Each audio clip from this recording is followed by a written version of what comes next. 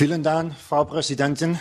Señorías, hoy quiero dirigirme a los miembros de la bancada de los socialdemócratas, de los verdes y de la izquierda en general, para decirles que abran de una vez y por todas los ojos y que acepten y, y visualicen cuál es la verdadera realidad que se está produciendo en Cuba.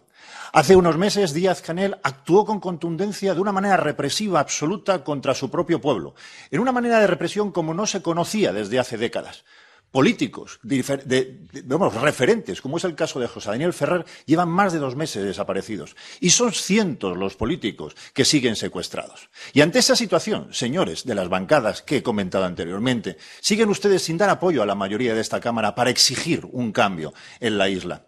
Los cubanos no tienen alimentos, los cubanos no tienen medicinas, a los cubanos se les caen literalmente sus casas sobre sus cabezas y ustedes siguen sin apoyar las resoluciones mayoritarias de esta Cámara.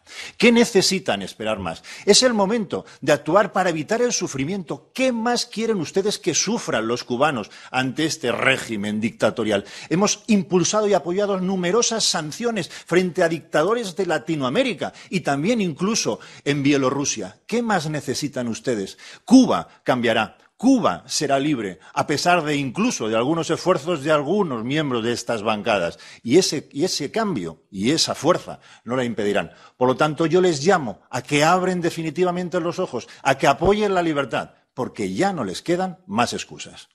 Dankeschön, uh, Frau Präsidentin.